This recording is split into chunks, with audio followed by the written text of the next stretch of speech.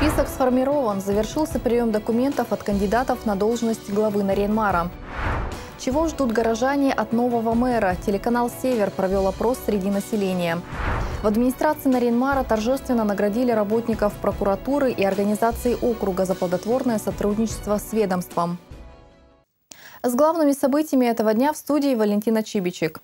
На пост мэра столицы региона заявили семь человек. Прием документов от потенциальных претендентов на должность главы Наренмара завершился. Кандидаты представили необходимые сведения. Напомню, перечень документов, представляемых для участия в конкурсе и требования к их оформлению, установлены решением городского совета. Оценивать претендентов на должность мэра будет специально созданная комиссия.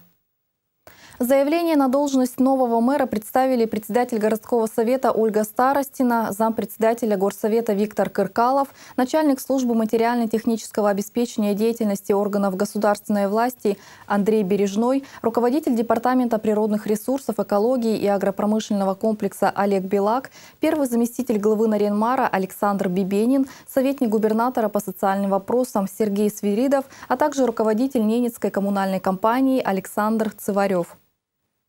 В течение трех дней наша конкурсная комиссия должна, согласно положению, э, отказать или не отказать всем претендентов на, по формальным признакам. То есть у нас мы проверяем все документы. Потом после этого мы уже принимаем решение комиссии в течение трех дней о допуске к конкурсу. Конкурс назначен на 30 января. Он будет проводиться в форме собеседования с каждым претендентом отдельно. Кандидат будет оцениваться на основании представленных им документов и результатов собеседования. Предпочтительными требованиями являются наличие высшего профессионального образования, а также умение оперативно принимать решения, организовывать и обеспечивать выполнение задач и многие другие. После решения комиссии не менее двух кандидатов будут представлены депутатам городского совета. Именно они открытым голосованием, простым большинством большинством голосов и определят, кто станет новым главой Наринмара. Пока конкурсная комиссия будет решать, кто достоин занять пост градоначальника, жители Наринмара готовы подсказать, на что в первую очередь стоит обратить внимание новому мэру и как сделать жизнь его жителей комфортней. Садить на деревья побольше. Что тут, как в этом, можно было вот рябину посадить, она растет прекрасно, черемуха растет. Ну и что еще? Заниматься хозяйством. Город, дороги, чтобы хорошие были. Строить дороги-то надо. Старые дома надо снести. Главными дорогами не занимаемся, а и второстепенными надо заниматься тоже. Зелень повырубали, вот надо снова восстановить то, что было, а сейчас наоборот стал. Город голый, нужно зелень вернуть, то, что они срубили. Даже где вот сейчас торговый центр, там было столько зелени, они вырубили это. Посадили три кустика. В первую очередь ЖКХ, мне кажется. В первую очередь ЖКХ. Ну и мы-то молодежь еще как-то, может, суетимся где-то, как что-то. Пенсионеры у нас в первую очередь. Пенсионеры, чтобы пенсионерам все хорошо было. Все, в принципе, мои, мои пожелания. Ну, главное, чтобы о людях заботились что больше внимания там на просьбы. Первым, что в первую очередь? Да вон, вон такие, вон хоть эти вот урочище убрать. Вон, видите, обгорел посередке улицы. Центр стоит, ё сгорел. И заняться жильем, да много чего нужно. Где хоть такие парки где-то лучше сделать, чтобы обустроить. Ну, все, что ли, места ведь тут есть кое-где все, что можно обустроить, где чтобы было посидеть, отдохнуть. Ага, так вот эти скамеечки кое-где вот побольше тут поставить, чтобы было посидели вот это. Благоустройство. Да, да, да, благоустройством говорить даже нечего. Вот жилье, благоустройство. Чтобы была это чистота, порядок и никакого воровства, ничего это не было. Благоустраивать наш город и все проблемы э, населения, которые возникают, конечно же, решать по улицам, особенно там, где на периферийных сторонах, там нужно тоже заглядывать нашему мэру, потому что идешь, то знаешь чего, ножки циркулем, а то и вовсе на четырех точках опоры. Чтобы и дороги чистые были, и тепло было в домах. Я считаю, что как бы в удовлетворительном моменте находится, убирается снег, чистятся дороги. Для нас это очень важно, чтобы у нас весной мы не плавали на лодках вместо машин, то ну, Лучше еще, что было, конечно. А так на город ничего не могу сказать. Хорошо у нас сейчас в городе. Красиво, уютно. К этим людям можно прийти со своей бедой, и они помогут восстановить справедливость и добиться правды. 12 января российская прокуратура отметила профессиональный праздник и 295-летнюю годовщину. Торжественное мероприятие с подведением итогов работы окружного ведомства в 2016 году состоялось накануне в здании городской администрации. О тех, для кого не бывает чужих проблем, расскажет Любовь Пермякова. В этот день принимали поздравления те, от кого порой зависит чья-то человеческая судьба. Сегодня в России трудится более 50 тысяч прокурорских работников. И если вспомнить прокуратуру Ненецкого автономного округа, то а, когда-то здесь тоже работало 12 человек, а сейчас а, 42 прокурорских работника. А, это говорит о расширении тех полномочий и Э, усложнении задач, которые ставятся э, перед прокуратурой, президентом страны, э, генеральным прокурором.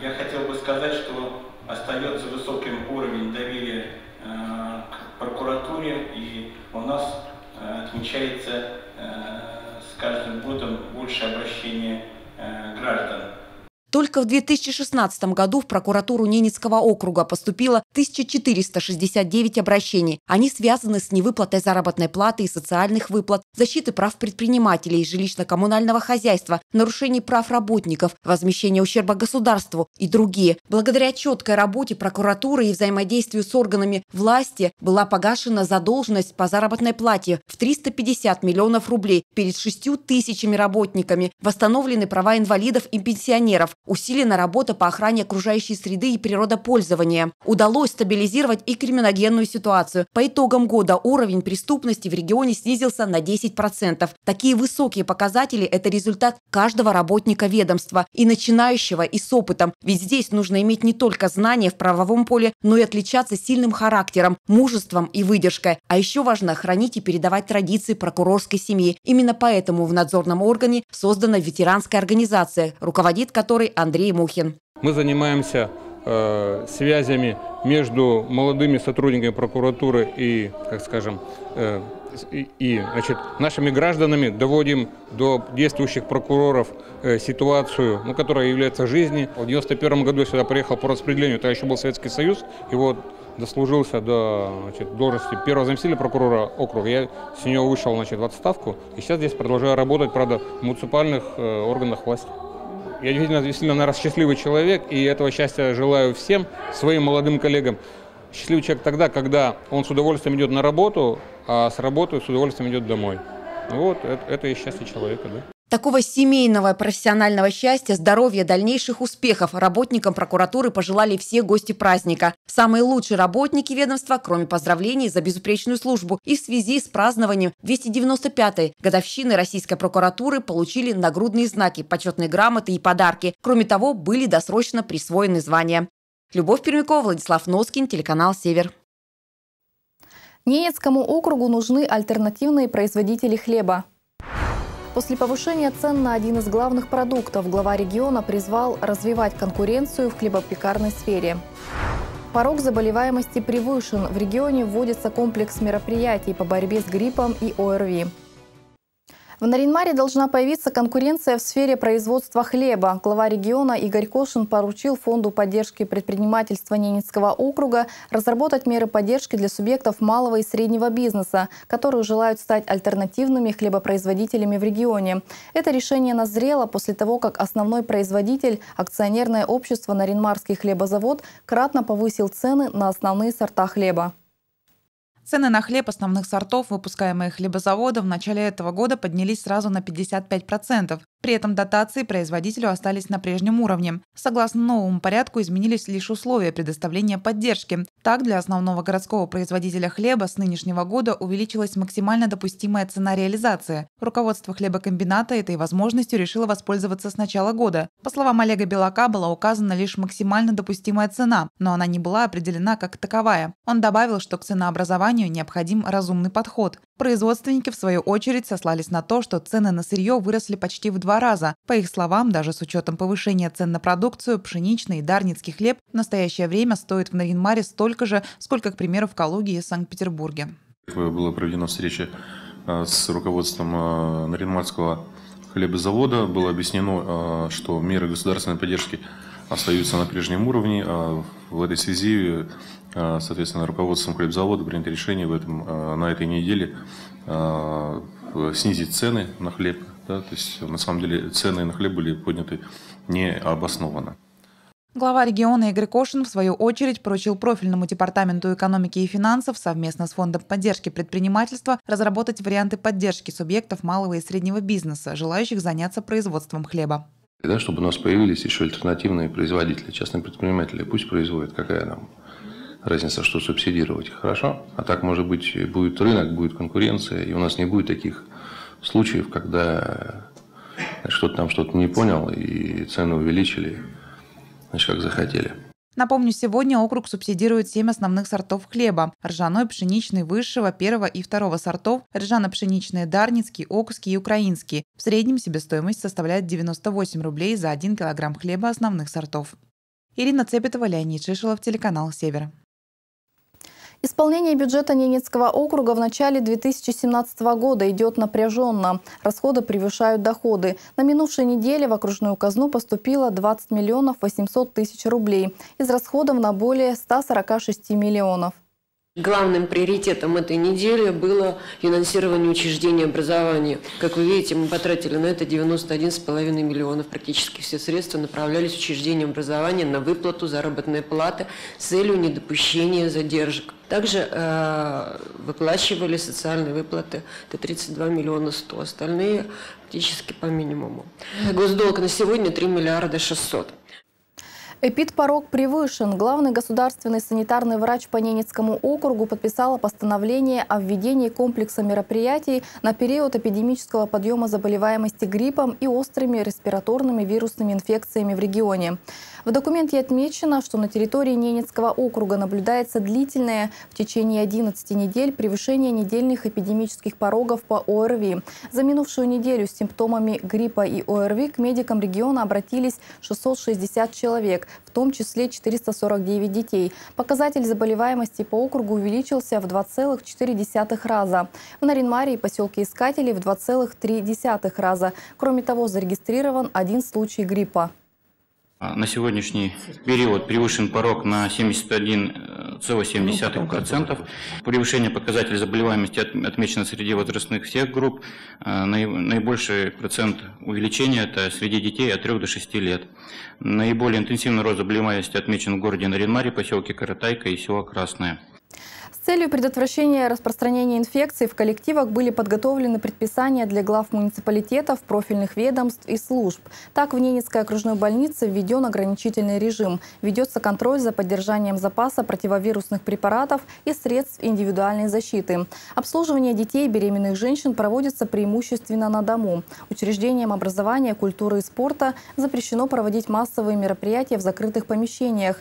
Профильному ведомству предписано взять на контроль проведение профилактики профилактических и противоэпидемических мероприятий в школах и детских садах. На карантин класс или группа будут закрыты при одновременном отсутствии более 20% детей на срок не менее 7 суток. Приобрели необходимый опыт и пообщались с тружениками нефтянки. С месторождений округа вернулись студенты Ненецкого профессионального училища. Будущие работники нефтяной отрасли проходили там производственную практику. Целый месяц вдали от дома студенты Ненецкого профессионального училища вернулись с производственной практики. На объектах предприятия «Лукойл Севернефтегаз» ребята осваивали практические навыки работы помбура или помощника бурильщика капитального ремонта скважин. Своими впечатлениями от поездки студенты поделились с нашей съемочной группой. Студент третьего курса Кирилл Букатов вместе с тремя своими однокурсниками проходил стажировку на месторождении имени Юрия Росихина. Трудовые будни ребят начинались с 6 утра. После плотного завтрака практиканты приступали к работе, конечно, под руководством опытных наставников. То есть нас теоретически не подготавливали ни к чему, ничего не поняли особенно. Это у них намного проще, чем теория. Теория слишком как-то научная. У нас коллектив очень хороший, они понимают, как все. Они ну, сказали нам сразу, чтобы мы обращались к ним, где что, спросить, или лучше говорит, переспросить, чем не дослышать и не так передать. Как-то так. Там даже общение по рации и так далее. Лучше переспросить лишний раз. Ну, у тебя в планах это хочешь дальше идти? Да, я хочу идти на выше, в Ухту. Еще девять студентов НПУ проходили практику на инзерейском месторождении. Среди них Виктор Лобанов. Ребята работали в трех разных бригадах. Ну, насколько было тебе интересно проходить практику? Мне максимально интересно было. То есть каждый день что-то новое. То есть у нас такая профессия, помощник бурильщика. То, что там нет такого, что два дня одно и то же повторяется. Там каждый раз приходишь, что-то новое уже. А у нас спецодежда была очень теплая. Я тоже удивился. То есть в 35 работаешь и даже не мерзнешь. Много хороших воспоминаний о своей бригаде. То есть они молодые были, все веселые. Вот. Такое хорошее воспоминание о них. Но если будет вакансии, то я пойду по своей профессии. Как отметила заместитель директора по учебно-производственной работе Ненецкого профучилища Татьяна Рьянова, впервые студенты НПУ проходили практику у нефтяников. Лукойл-Коми обратился в компанию по ремонту скважин «Евразия», которая на время стажировки приняла студентов на работу. Ребятам были предоставлены оснащенные рабочие места. Также за ними были закреплены мастера-наставники, которые помогали овладевать практическими навыками профессии помощника-бурильщика капитального ремонта скважин. Оказал ли нам помощь кто? Лукойл Коми, да? Мы с вами с ними познакомились в день отправки, да? И улетали вместе с вахтовиками данной компании. А Лукойл Севернефтегаз взяли на себя бесплатную доставку. Кроме этого, они на себя взяли проживание ваше, да? Месяц производственной практики пролетел для ребят быстро. Каждый из них получил незабываемый опыт работы на нефтяном месторождении. Впереди у ребят защита профессиональных модулей и дипломной работы. Ирина Нежалова, Дмитрий Лукевич, телеканал «Север». Такова информационная картина этого дня. Мы следим за развитием событий. Увидеть новости можно и на нашем сайте по адресу www.trksever.ru. Далее смотрите прогноз погоды.